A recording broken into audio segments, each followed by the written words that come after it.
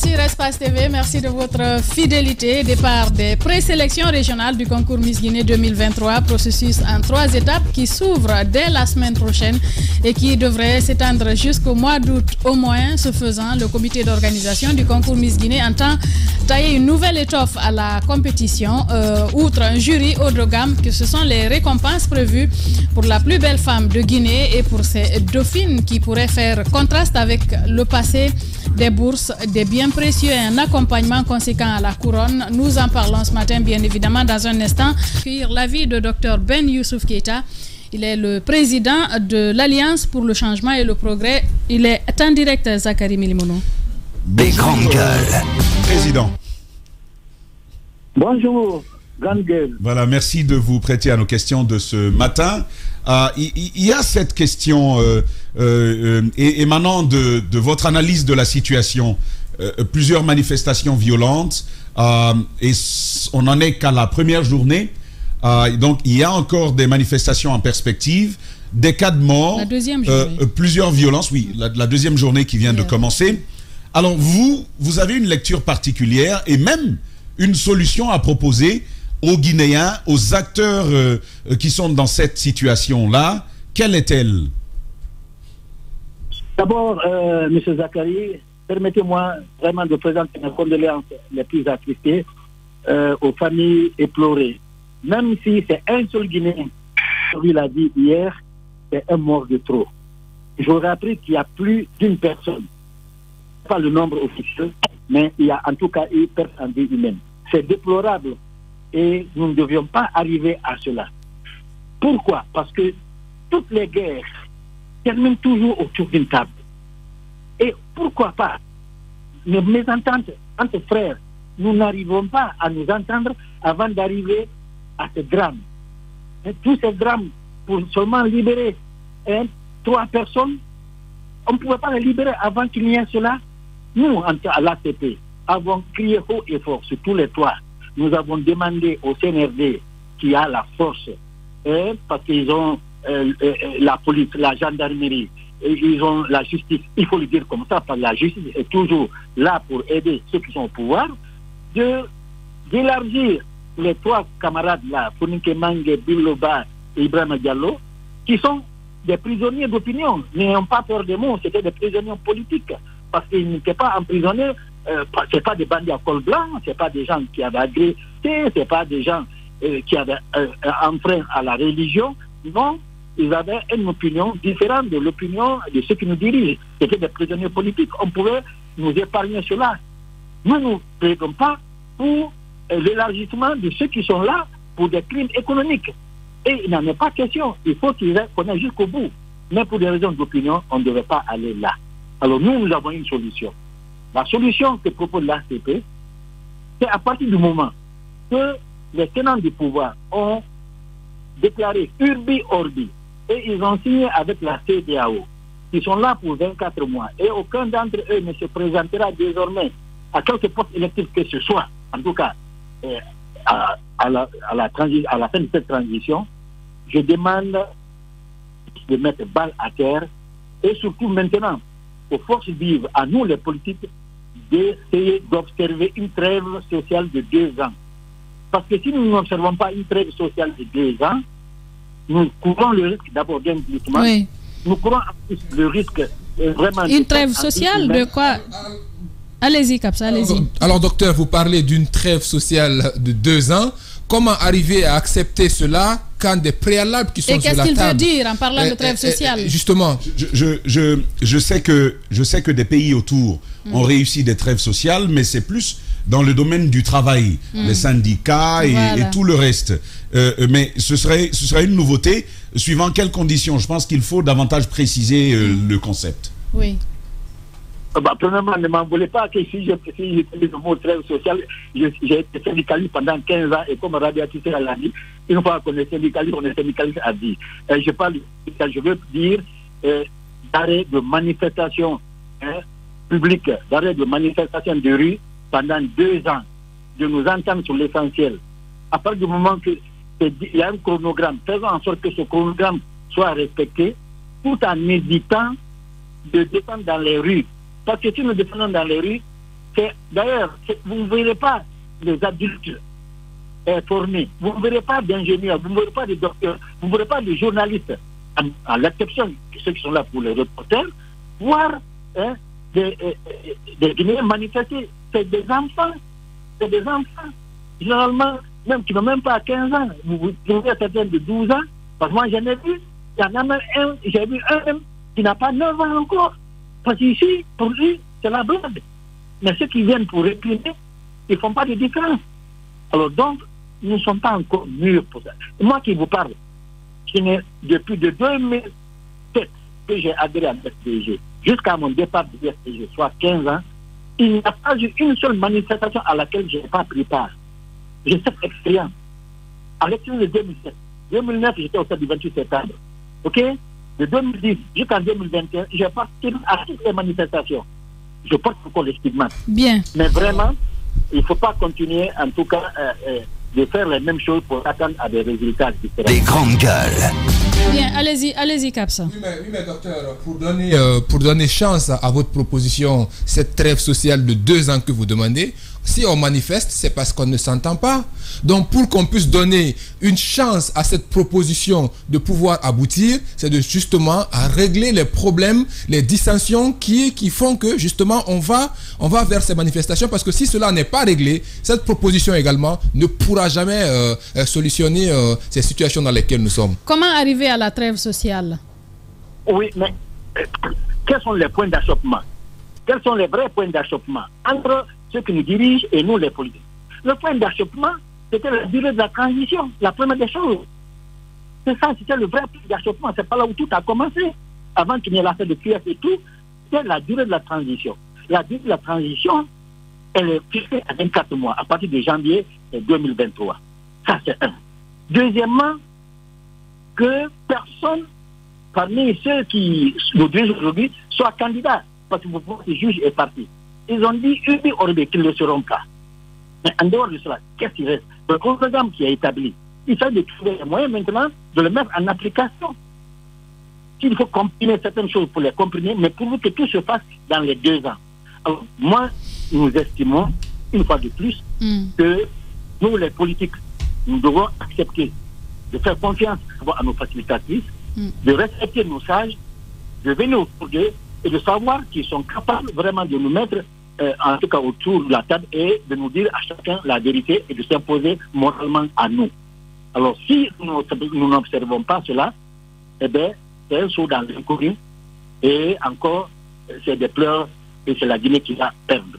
Nous nous demandons humblement, d'abord, à nos frères euh, qui ne sont pas venus autour de la table de venir. Parce que, Madame Hierro, ma soeur, je vous dis, Dieu a déjà choisi celui qui va être le futur euh, président de la République de Guinée après Doumbouya. C'est Dieu qui sait l'heure, la date, le hmm. moment et dans quelles conditions il viendra. Personne ne peut changer. Donc faisons en sorte que nous tous nous trouvons là. Allez-y. Euh, docteur Ben Youssouf, ma question, on va rester dans l'actualité. On sait que ça fait euh, plus de deux mois euh, que ces, ces rencontres-là ont débuté entre les forces vives, le gouvernement et les religieux. Euh, vous dites qu'on pouvait éviter ce qui est arrivé hier. comment vous suivez l'ordre des événements en 48 heures ou 72 heures que de l'autre côté, on accepte enfin, même si on a quelque part piétiné sur la, sur la justice, sur le droit, Comment vous, comprenez ce, cette acceptation, euh, euh, euh, enfin, par rapport à la lecture des, religieux qui ont quand même joué un grand rôle pour qu'il y ait cette libération non seulement, malgré qu'il n'y a pas eu suspension de la grève. Comment vous faites cette lecture? Les, événements, comment ils se sont enchaînés dans les 48 heures, 72 heures hmm. Nous n'avons pas voulu mettre de côté nos égaux. C'est purement et simplement une question d'ego, ce n'est pas autre chose. Parce que nous, sommes, nous avons abouti à la chose à laquelle nous devons aboutir dès les premiers jours de la rencontre. C'était aussi simple que ça. Si nous avons accepté de respecter nos, nos, illustres euh, euh, sages, nos, les prélats, l'imam et les monseigneurs, qui n'ont absolument aucun intérêt particuliers à protéger. Ils ne veulent pas de promotion, ils ne veulent pas euh, de biens matériels, euh, ils ne veulent pas de, ils n'interviennent pour qui que ce soit. Eux, c'est et Dieu. Donc, si nous acceptions de les respecter le premier moment, si nous n'avions pas d'ego, si nous, considérons, vraiment la situation du peuple de Guinée, vraiment, tout le monde était d'accord que les trois là, Fonike Mange, Ibrahim Diallo et Biloba, sont là pour des raisons d'opinion. C'est des raisons politiques. Et nous savons tous que nous ne sommes pas dans un régime maintenant totalitaire, où nous ne sommes plus dans un monoparti. Nous sommes dans la démocratie euh, plurielle, dans le pluralisme politique. Chacun est libre d'exprimer son opinion comme il veut en respectant la loi. Dernière question pour, pour clore. Oui, monsieur le Président, euh, au-delà des 10 points, on connaît déjà les 10 points, on a suffisamment débattu. Euh, le point d'achèvement aujourd'hui, c'est autour des préalables. Parce qu'il faut des préalables, les concertations, il y a eu des préalables qui ont été mis sur table. Notamment, c'était le cas de la libération des Fonike Mengue. Aujourd'hui, on peut dire euh, sans embâche que c'est chose faite. Il y a aussi l'arrêt des poursuites contre les autres leaders qui ne sont pas dans, au pays. Vous avez ici Loudalen Diallo, Sidia Touré et tous les autres. Il y a le dossier euh, aussi, cette question lancinante et brûlante, c'est la CRIEF. Est-ce que, à votre avis, euh, euh, cela ne rend pas un peu difficile euh, le retour au, calme? Parce que après le cas Fonike Mengue, certainement dans les jours à venir, ils vont commencer à plancher sur la question de la CRIEF, mais aussi les, les, ceux qui sont les neuf personnes aujourd'hui contre qui a aujourd'hui cette décision de la justice qui les empêche de voyager, peut-être que les faux ou Fofana. Est-ce qu'il ne faudrait pas aller rapidement vers cela, trouver un peu ce qu'il est possible de faire pour que ces gens-là reviennent autour de la table? Monsieur Médibono, d'abord, aucun sacrifice n'est de trop pour éviter qu'un Guinéen ne meure pour la politique. Aucun sacrifice n'est de trop pour éviter qu'un commerçant perde encore ses biens. Aucun sacrifice n'est de trop pour éviter hein, qu'il y ait encore du trouble social dans notre cité. Aucun sacrifice n'est de trop. Pour moi et pour l'ACP, nous estimons, de la même manière qu'on a libéré nos trois compatriotes-là, on peut aider euh, les poursuites judiciaires, pas même euh, les, euh, les poursuites judiciaires, euh, même, je ne sais pas, ils sont, obligés de venir se présenter chaque, deux ou trois jours. On peut lever les poursuites judiciaires contre ceux qui, les neuf là. Et enfin, ça où nous, nous, nous négocierons pas, où nous ne transigerons pas, c'est que ceux qui sont accusés de crimes économiques qui sont dans les mailles du filet doivent être jugés afin que ça serve là. Elle est là aujourd'hui, elle doit être là pour tous les jours. Et la justice ne doit pas se mêler de cela. Pour nous, tous ceux qui ont des dossiers Bien, docteur Ben Youssouf euh, Keita, président de l'Alliance pour le changement et le progrès que nous avions en direct chez les Grandes Gueules. Par rapport à cette manifestation d'Ambazakari Milibono, il y a aussi cette autre actualité. Cet homme en civil qui a été aperçu armé euh, pendant cette manifestation. On parle d'un agent des, forces spéciales de Guinée. Comme, nous le disions, euh, cela transparaissait dans chacun de nos propos, nos condoléances à toutes les familles des victimes. Euh, ça reste une situation compliquée que de perdre un être humain. Ce n'est pas, ce n'est jamais banal mm. que de perdre un être humain. Et on se retrouve dans cette situation malheureuse que l'on pouvait prédire dès le début. Parce que même euh, hier déjà nous étions dessus, ce matin on est revenu là-dessus. Euh, quand les choses sont avec une telle violence, il ne faut pas s'étonner qu'il y ait des cas de mort. C'est, on y est tellement habitué que c'est comme ça que ça se passe. Et puis, il y a la question de la responsabilité de ceux qui tirent. Vous savez, cet éternel débat. Euh, il y a eu un premier cas pour lequel on a vu le ministre Charles Wright s'activer. Un agent des forces de défense et de sécurité avait été interpellé, son dossier avait été mis en examen, il y a eu une instruction, jugé, et plus loin, on a vu ce qui s'est euh, passé. Mais c'était tout. C'était le seul véritable bel élan dans euh, le traitement des cas de mort lors des manifestations. Ah, ensuite, il y a eu des cas de mort. Aujourd'hui, on brandit la liste des sept, en fait, parce qu'il y en a eu d'autres derrière qui se rajoutent aux cinq euh, d'hier. Et, on en est là. On, on en est là. Puisque tout est filmé aujourd'hui, tout se retrouve sur la place publique, il y a cette image qui a interpellé tout le monde. Moi, on, me l'a envoyé en fin d'après-midi. Mm. Et puis, vous voyez un véhicule blanc qui arrive, ça doit être une Nissan, euh, les, les Nissan oui, un peu, un peu vieux, Et extra, hein, je C'est une Honda de couleur grise là. Voilà, donc qui, qui arrive.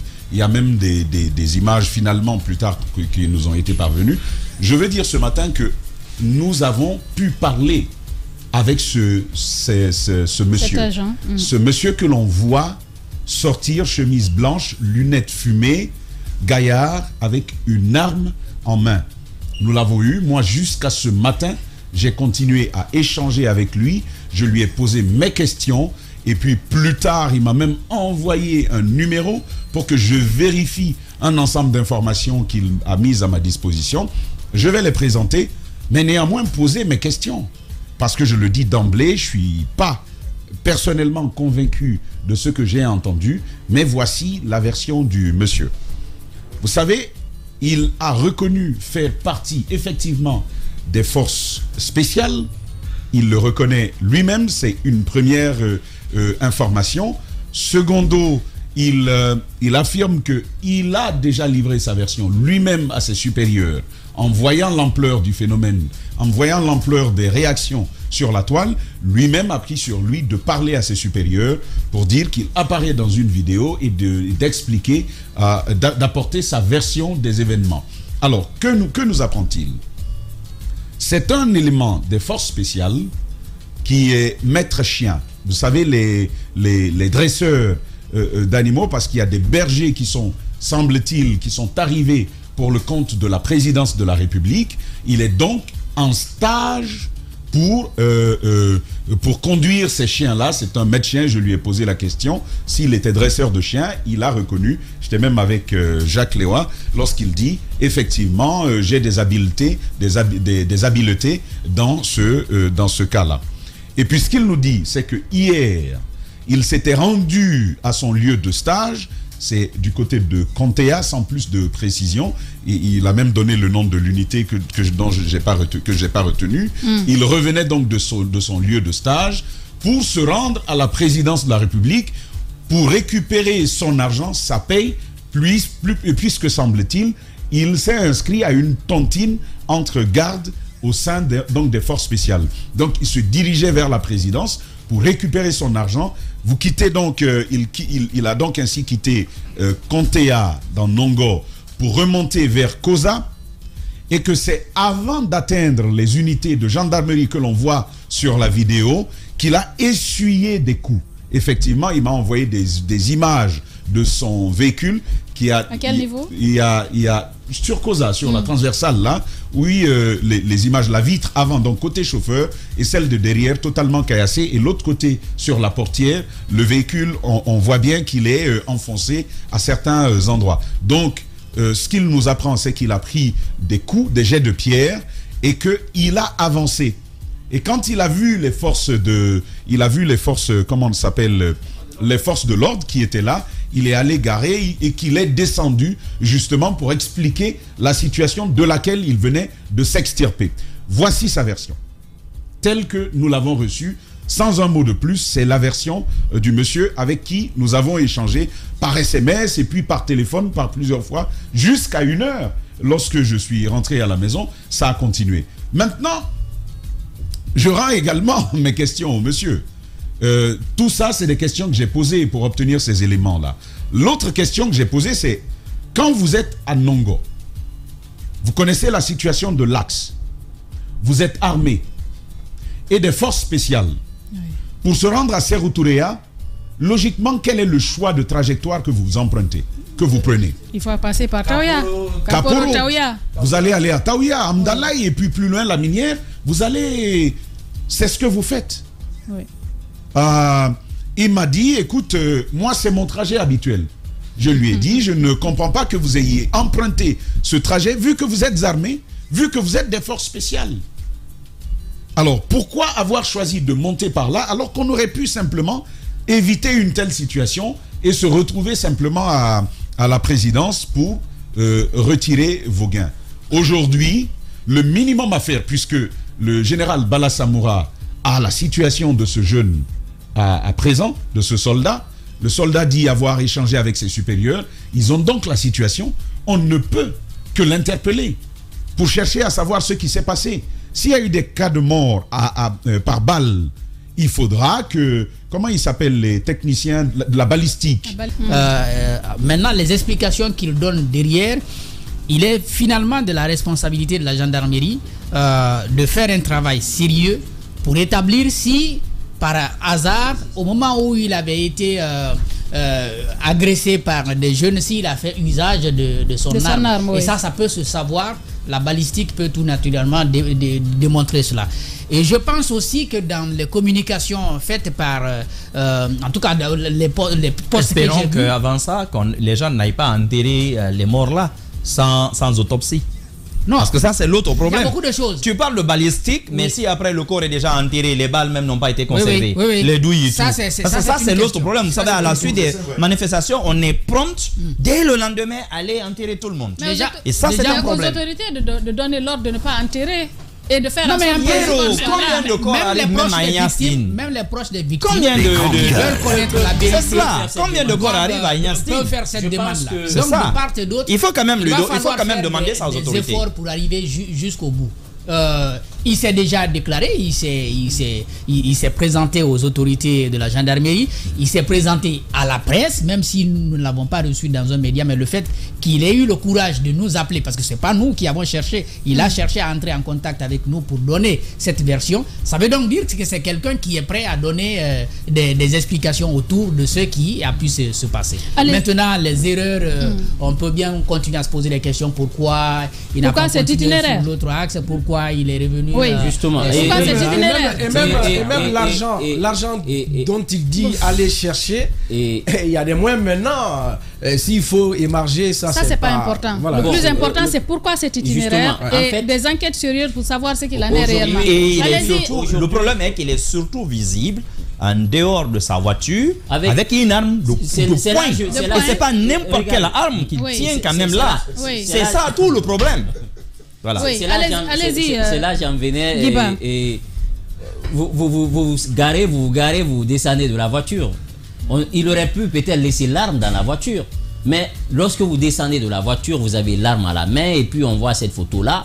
Ça veut dire que vous-même, vous vous mettez dans une situation compromettante. compromettante. Je, je crois, euh, bon, il y a eu plusieurs choses, mais la question elle est très simple. Aujourd'hui, avec les caméras qui sont placées, on peut... Des grandes gueules. Pour retracer un peu son parcours mais également avec la balistique, on peut le faire. Mais il faudrait que et la famille. C'est une question de volonté. Justement, de, volonté politique puisse faire la demande pour qu'on ne puisse pas enterrer ces corps-là. Qu'on on peut faire des études, des recherches pour situer les responsabilités. Une fois encore, je pense que lui-même, avec toute la formation qu'il a eu à Chute, c'est des personnes qui sont très bien formées.